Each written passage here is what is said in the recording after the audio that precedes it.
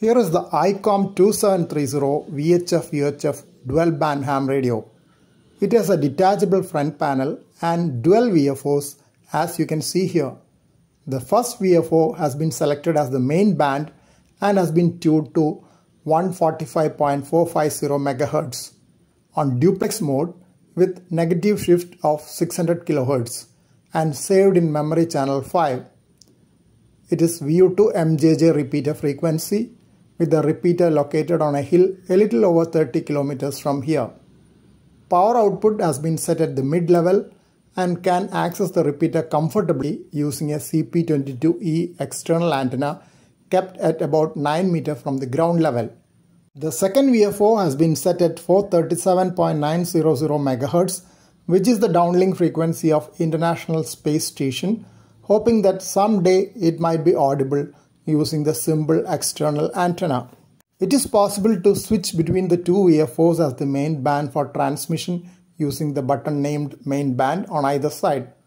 So far, only one QSO with a station at 1 km has been made on UHF, that too only after fixing a schedule on VHF.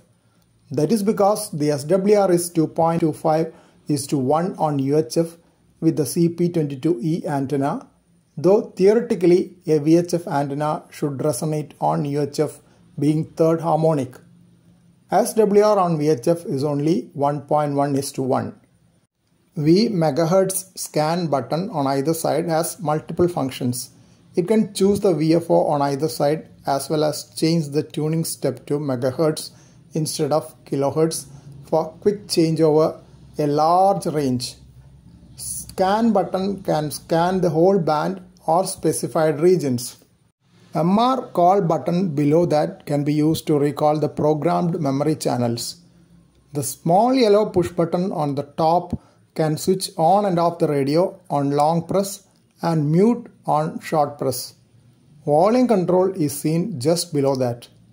Rotary switches labeled dial on the bottom can change the memory channel as well as act as the tuning knob. SQL is the squelch control. The advantages for all the controls except the power button is that they are available on both sides for independent control of the two VFOs which can be tuned to any of the available frequencies on UHF or VHF.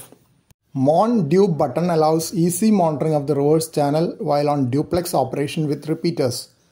Pressing this will go to the receive frequency of the repeater so that we can check the reverse copy of the station being heard on the repeater and give them a report on reverse copy if present. This will also tell us whether we can move with the station to simplex operation on another channel when a local net is going on in the repeater.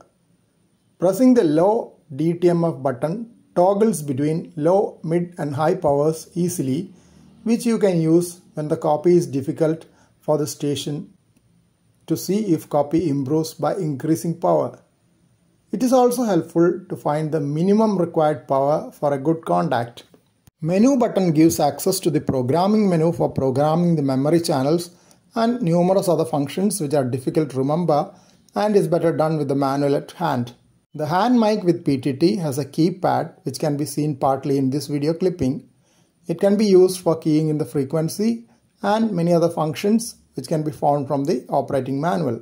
The detachable front panel enables mounting it in the dash of the vehicle conveniently while the main part of the radio can be kept at any other part with access to the battery.